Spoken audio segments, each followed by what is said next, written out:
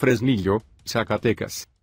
Durante la noche de este miércoles, de nueva cuenta se registraron dos eventos casi simultáneos, donde se escucharon múltiples detonaciones de arma de fuego, dejando como resultado un hombre lesionado, varios vehículos baleados y la fachada de un inmueble.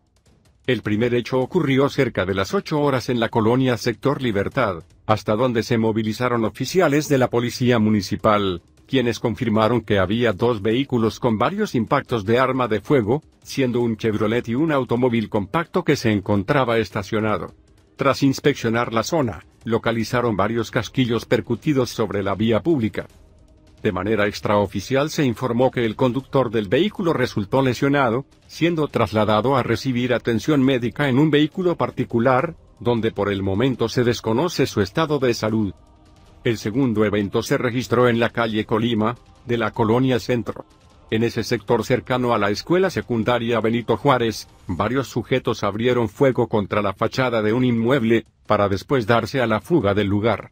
En este hecho no se reportaron lesionados ni fallecidos, solo daños en la fachada de una vivienda. Al arribo de Policía Estatal Preventiva, confirmaron la situación localizando varios casquillos percutidos de arma larga sobre la carretera por lo que se dio aviso a oficiales de investigación quienes señalizaron las evidencias balísticas y se encargaron de la recolección de indicios.